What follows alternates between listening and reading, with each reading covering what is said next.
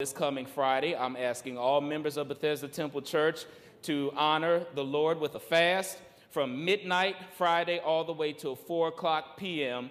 on Friday. Those of you who are able to go that long, do it.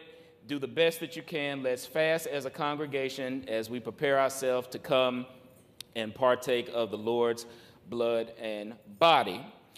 It had not dawned on me that we have not had a foot, feet because you have more than one, a feet washing service in about three years. And there have been uh, a couple of individuals who are new to our congregation in that time frame who have inquired what a feet washing service is all about. I guess I just kind of took for granted everyone knew, but again, you can't take things for granted. I want to uh, briefly share with you in the scriptures what our Lord has said regarding feet washing, and that will help add some context for you as to why we're doing it. This is not my sermon for the morning, but I do want you to hear this passage uh, for those of you who are relatively new. And again, we will probably read it again on this coming Friday night to reiterate what the word of the Lord says in St. John chapter 13. It says, Now before the feast of the Passover, when Jesus knew that his hour had come, that he should depart out of this world unto the Father, having loved his own, which were in the world, he loved them unto the end. And supper being ended, the devil having now put into the heart of Judas Iscariot, Simon's son, to betray him.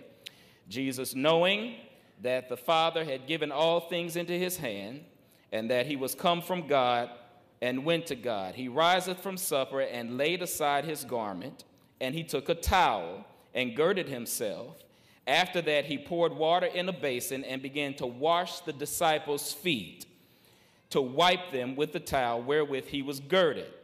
Then cometh he to Simon Peter, and Peter saith unto him, Lord, dost thou wash my feet? Jesus answered and said unto him, What I do thou knowest not, but thou shalt know hereafter. Peter said unto him, Thou shalt never wash my feet. Jesus answered and said, If I wash thee not, then thou hast no part with me. Simon Peter said unto him, Lord, then not my feet only, but my hands and my head. Jesus said to him, He that is washed needeth not to save to wash his feet, but is clean every whit, and ye are not clean, but not all. For he knew who should betray him. Therefore he said, You are not all clean. That's why he said what he said. Few more verses. So after he had washed their feet, he had taken his garments and set them down again, and said unto them, Know ye what I have done to you? You call me master and Lord, and you say, Well, for so I am.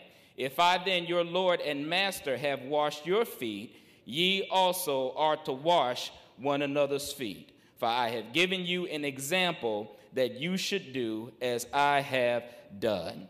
And this is why we celebrate feet washing service in the sanctified church. We will begin our celebration on Friday night uh, with our usual testimony service, and then we will go into that portion of our feet washing. We will give you instructions at that time on where the sisters will go and where the brothers will go. And as we have been taught, strive not to uh, prepare yourself with whose feet you want to wash, humble yourself, and serve your brothers and sisters in the Lord. Now, saints, Make it easy for your fellow brothers and sisters. Go and get your pedicures. Amen. Put a little lotion on. Don't come on looking like you've been kicking powdered sugar. Make it easy for them to wash your feet. And those of you who have sanitary issues, you can always wash your hands when the ceremony is done. But it is done as a symbol of humility and servitude to our fellow brothers and sisters.